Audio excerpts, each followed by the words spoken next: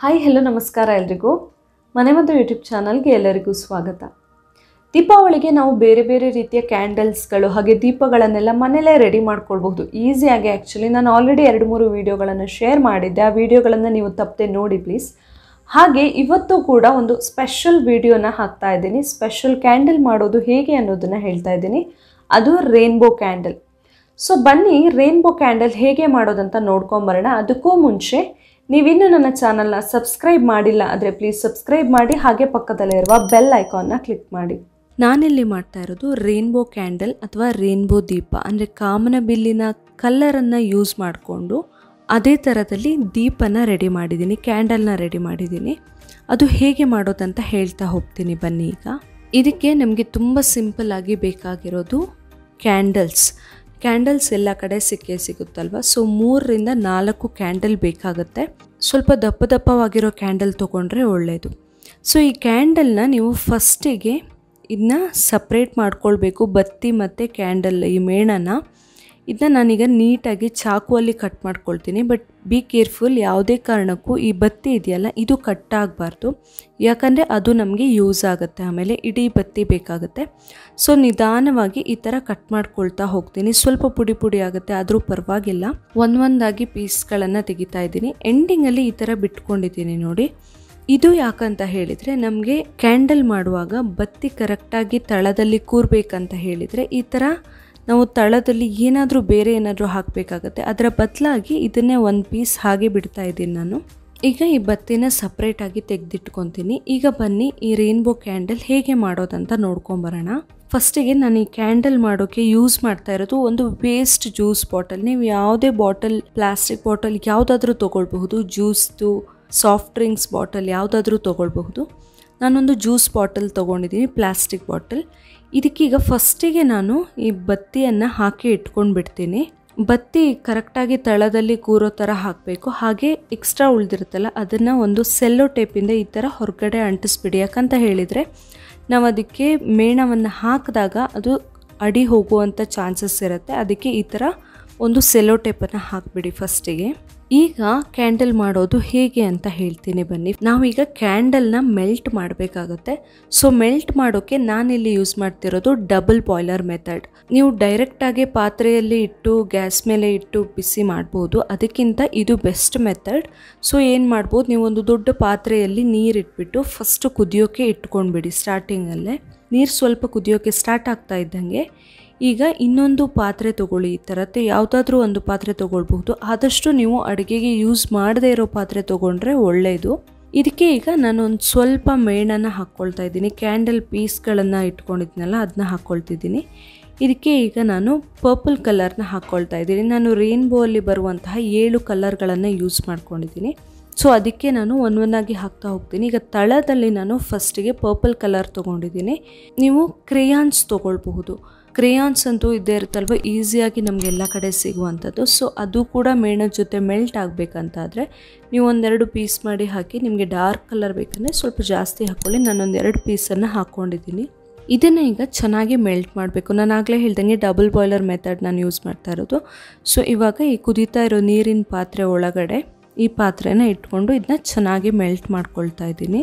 ಇದೀಗ ಚೆನ್ನಾಗಿ ಮೆಲ್ಟ್ ಆಗಿದೆ. ಇದನ್ನು ನಾನು ನಾನೇನು ಬತ್ತಿ ಎಲ್ಲ ಹಾಕಿ ರೆಡಿ ಮಾಡಿ ಇಟ್ಕೊಂಡಿದ್ನಲ್ಲ ಬಾಟಲ್ ಇದಕ್ಕೆ ಹಾಕ್ತಾ ಇದ್ದೀನಿ. ಇದಕ್ಕೆ ಹಾಕಿದ ಮೇಲೆ ಇದೀಗ ಸರಿಯಾಗಿ ತಣ್ಣಗಾಗಬೇಕು. ನೀವು ಪಟ್ಟಂತ ಹಾಕಿ ಬಿಡಬೇಕು ಮೆಲ್ಟ್ ಆದ ಕೂಡಲೇ. ಯಾಕಂದರೆ ಪಟ್ಟಂತ ಅದು ಮೇಣ ಗಟ್ಟಿ ಆಗಿಬಿಡುತ್ತೆ. ಅದಕ್ಕೋಸ್ಕರ ನೀವು ತಕ್ಷಣ ಹಾಕಿದರೆ ಕರೆಕ್ಟ್ ಆಗುತ್ತೆ. ಇದನ್ನು ಈಗ ಹೀಗೆ ಬಿಡಬೇಕು, ಸರಿಯಾಗಿ ತಣ್ಣಗಾಗಬೇಕಿದ್ದು ಗಟ್ಟಿ ಆಗಬೇಕು, ಅಲ್ಲಿ ತನಕ ಹೀಗೆ ಬಿಡಬೇಕು. ನೀವು ಬೇಕಂದರೆ ಒಂದು ಬೌಲ್ ಅಥವಾ ಯಾವುದಾದ್ರೂ ಒಂದು ಪಾತ್ರೆಯಲ್ಲಿ ನೀರಿಟ್ಕೊಂಡು ಈ ಬಾಟಲ್ನ ಹಾಗೇ ಇಡಬಹುದು. ಸೊ ಸ್ವಲ್ಪ ಬೇಗನೆ ತಣ್ಣಗಾಗುತ್ತೆ. ನೋಡಿ, ಇದೀಗ ಕರೆಕ್ಟಾಗಿ ಗಟ್ಟಿಯಾಗಿದೆ. ಇವಾಗ ನಾನು ನೆಕ್ಸ್ಟ್ ಕಲರ್ನ ಆ್ಯಡ್ ಮಾಡ್ತೀನಿ.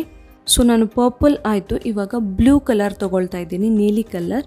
ನೀಲಿ ಕಲರ್ ಕೂಡ ಹಾಗೆ ಸ್ವಲ್ಪ ಮೇಣನ ಹಾಕ್ಕೊಂಡಿದ್ದೀನಿ, ಹಾಗೆ ಒಂದು ಕ್ರೇಯಾನ್ಸ್ ಪೀಸ್ ಮಾಡಿಕೊಂಡು ಹಾಕ್ಕೊಂಡಿದ್ದೀನಿ. ಇದನ್ನು ಕೂಡ ಚೆನ್ನಾಗಿ ಮೆಲ್ಟ್ ಮಾಡಿ ಹಾಕ್ತಾ ಇದ್ದೀನಿ. ಇದನ್ನು ಕೂಡ ಈಗ ಸರಿಯಾಗಿ ಗಟ್ಟಿಯಾಗೋ ತನಕ ಬಿಡಬೇಕು. ಈಗ ನಾನು ನೆಕ್ಸ್ಟ್ ಕಲರ್ ಹಾಕ್ಕೊಳ್ತಾ ಇದ್ದೀನಿ. ಲೈಟ್ ಬ್ಲೂ ಕಲರ್ ಇದು ಕೂಡ ಹಾಗೆ ನೀವು ಫಸ್ಟ್ ಏನು ಮೆಥಡ್ ಫಾಲೋ ಮಾಡಿದ್ರಲ್ಲ ಕ್ಯಾಂಡಲ್ ಹಾಕ್ಕೊಂಡು ಅದಕ್ಕೆ ಕ್ರೇಯಾನ್ಸ್ ಹಾಕ್ಕೊಂಡು ಮೆಲ್ಟ್ ಮಾಡಿಕೊಂಡು ಅದೇ ರೀತಿಯಲ್ಲಿ ಮಾಡಿ ಹಾಕ್ತಾ ಇದ್ದೀನಿ. ಇದನ್ನು ಕೂಡ ತಣ್ಣಗಾಗೋಕ್ಕೆ ಬಿಡ್ತೀನಿ ಕಂಪ್ಲೀಟಾಗಿ ಈಗ ನೆಕ್ಸ್ಟ್ ಕಲರ್ ಅಂತ ಹೇಳಿದರೆ ಗ್ರೀನ್ ಇದನ್ನು ಕೂಡ ಅದೇ ರೀತಿ ಮಾಡ್ತಾ ಇದ್ದೀನಿ. ಸೇಮ್ ಪ್ರೊಸೀಜರ್ ಪ್ರತಿಯೊಂದಕ್ಕೂ ಫಾಲೋ ಮಾಡಬೇಕಾಗತ್ತೆ. ಇವಾಗ ಹಳದಿ ಕಲರನ್ನು ಹಾಕ್ತಾ ಇದ್ದೀನಿ. ಯೆಲ್ಲೋ ಕಲರ್ ಯೆಲ್ಲೋ ಕಲರ್ಲಿ ಇನ್ ಕೇಸ್ ನೀವು ಪಾತ್ರೆಯಲ್ಲಿ ಬ್ಲೂ ಕಲರ್ ಗ್ರೀನ್ ಕಲರ್ ಮುಂಚೆ ಮಾಡಿರೋದೆಲ್ಲ ಇದ್ದರೆ ಅದು ಸ್ವಲ್ಪ ಕಲರ್ ಚೇಂಜ್ ಆಗುತ್ತೆ. ಅದಕ್ಕಾಗಿ ನೀವು ಆದಷ್ಟು ಪಾತ್ರೆನ ಕ್ಲೀನ್ ಮಾಡಿ ಇಟ್ಕೊಳ್ಳಿ. ಇಲ್ಲ ಆದರೆ ಯೆಲ್ಲೋ ಕಲರ್ ಸ್ವಲ್ಪ ಜಾಸ್ತಿ ಹಾಕಿ ಕ್ರೇಯಾನ್ಸನ್ನು ಇವಾಗ ನೆಕ್ಸ್ಟ್ ಕಲರ್ ಹಾಕಬೇಕು ಆರೆಂಜ್ ಕಲರ್ ಆರೆಂಜ್ ಕಲರ್ ಕೂಡ ಅದೇ ರೀತಿ ಸೇಮ್ ಪ್ರೊಸೀಜರಲ್ಲಿ ಮಾಡಿ ತೆಗೆದಿಟ್ಕೊಂಡಿದ್ದೀನಿ. ಈಗ ಕೊನೆಯದಾಗಿ ರೆಡ್ ಕಲರ್ನ ಹಾಕ್ತಾ ಇದ್ದೀನಿ ಸೇಮ್ ಪ್ರೊಸೀಜರಲ್ಲಿ ಇದು ಹಾಕಿದ ಮೇಲೆ ಇದನ್ನ ಕಂಪ್ಲೀಟಾಗಿ ತಣ್ಣಗಾಗೋಕೆ ಬಿಡಬೇಕು. ಯಾವುದೇ ಕಾರಣಕ್ಕೂ ಮಿಡಲಲ್ಲಿ ಆ ಕಡೆ ಈ ಕಡೆ ಅಲ್ಲಾಡಿಸ್ಬಾರ್ದು. ಸೊ ನೋಡಿ ಇದೀಗ ಕಂಪ್ಲೀಟಾಗಿ ಗಟ್ಟಿಯಾಗಿದೆ ಎಲ್ಲೂ ಕೂಡ ಆ ಕಡೆ ಈ ಕಡೆ ಹೋಗ್ತಾ ಇಲ್ಲ. ಕರೆಕ್ಟಾಗಿ ಗಟ್ಟಿಯಾಗಿದೆ, ಮೇಣ ಫುಲ್ ಸೆಟ್ಟಾಗಿ ಕೂತ್ಕೊಂಡಿದೆ. ಇವಾಗ ನಾವು ಈ ಬಾಟಲ್ ಇದೆಯಲ್ಲ ಹೊರಗಡೆದು, ಅದನ್ನು ಕಟ್ ಮಾಡಿ ತೆಕ್ಕೊಳ್ಬೇಕು.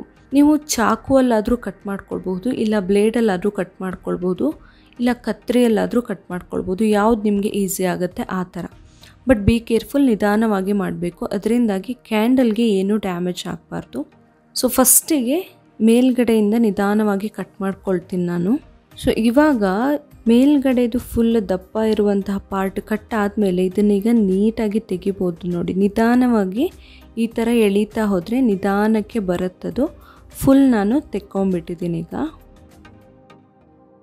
ನೋಡಿ, ಇಷ್ಟು ಚೆನ್ನಾಗಿರೋ ಒಂದು ಕ್ಯಾಂಡಲ್ ರೆಡಿ ಆಗಿದೆ. ರೇನ್ಬೋ ಕ್ಯಾಂಡಲ್ ಇವಾಗ ಇದನ್ನು ನಾವು ದೀಪ ಹಚ್ಬೋದು. ಅದಕ್ಕಿಂತ ಮುಂಚೆ ನಿಮ್ಗೆ ಏನಾದರೂ ಸ್ಟ್ಯಾಂಡ್ ಬೇಕು, ನೆಲದಲ್ಲಿ ಹಚ್ಚಲ್ಲ, ನೆಲದಲ್ಲಿ ಇಡಲ್ಲ ಅಂತಾದರೆ ಈ ಬಾಟಲು ತಳದಲ್ಲಿ ಏನು ಇದೆಯಲ್ಲ ಲಾಸ್ಟಲ್ಲಿ ಅದನ್ನೇ ನೀವು ಈ ಥರ ಕಟ್ ಮಾಡಿಕೊಂಡು ಇಡ್ಬೋದು. ನಾನು ನೋಡಿ ಇವಾಗ ಇಟ್ಟು ತೋರಿಸ್ತಾ ಇದ್ದೀನಿ. ಈ ಥರ ಕಟ್ ಮಾಡಿಕೊಂಡು ಇಟ್ಟುಬಿಡ್ಬೋದು ಇವಾಗ ದೀಪ ಹಚ್ಚಿಬಿಟ್ಟು ತೋರಿಸ್ತೀನಿ. ಕ್ಯಾಂಡಲ್ನ ಹಚ್ಚಿಬಿಟ್ಟು ತೋರಿಸ್ತೀನಿ ನೋಡಿ. ನೋಡಿ ಎಷ್ಟು ಸಖತ್ತಾಗಿ ಕಾಣಿಸ್ತಾ ಇದೆ. ಕಲರ್ಫುಲ್ಲಾಗಿ ನೈಟ್ ಟೈಮಲ್ಲಂತೂ ಕತ್ಲೆಯಲ್ಲಿ ಅಂತೂ ಹಚ್ಚಿದ್ರೆ ತುಂಬ ಚೆನ್ನಾಗಿ ಕಾಣಿಸುತ್ತೆ. ಕಲರ್ಫುಲ್ ಆಗಿರೋದು. ಏನು ಜಾಸ್ತಿ ಖರ್ಚಿಲ್ದೇನೆ ಮನೆಯಲ್ಲೇ ಈಸಿಯಾಗಿ ದೀಪ ಮಾಡಬಹುದಲ್ವಾ? ಈ ಕ್ಯಾಂಡಲ್ ಮಾಡೋಕ್ಕೆ ಜಸ್ಟ್ ಮೇಣದ ಬತ್ತಿ ಕ್ರೇಯಾನ್ಸ್ ಹಾಗೆ ಯಾವುದಾದ್ರೂ ಒಂದು ವೇಸ್ಟ್ ಬಾಟಲ್ ಇದ್ದರೆ ಕೂಡ ಸಾಕಾಗತ್ತೆ. ನೋಡಿದ್ರಲ್ಲ ರೇನ್ಬೋ ಕ್ಯಾಂಡಲ್ ಹೇಗೆ ಮಾಡೋದು ಅಂತ ಹೇಳಿ, ನೀವು ಕೂಡ ಇದನ್ನು ಒಮ್ಮೆ ಮನೇಲಿ ಟ್ರೈ ಮಾಡಿ ನನಗೆ ಫೀಡ್ಬ್ಯಾಕ್ ತಿಳಿಸಿ ಹೇಗೆ ಮಾಡಿದ್ರಿ ಅಂತ ಹೇಳಿ. ಈ ವಿಡಿಯೋ ಇಷ್ಟ ಆಗಿದ್ರೆ ಇದನ್ನು ಲೈಕ್ ಮಾಡಿ, ಹಾಗೆ ಶೇರ್ ಮಾಡೋದನ್ನು ಖಂಡಿತವಾಗಲೂ ಮರಿಬೇಡಿ. ಅದೇ ರೀತಿ ಕಮೆಂಟ್ ಕೂಡ ಮಾಡಿ.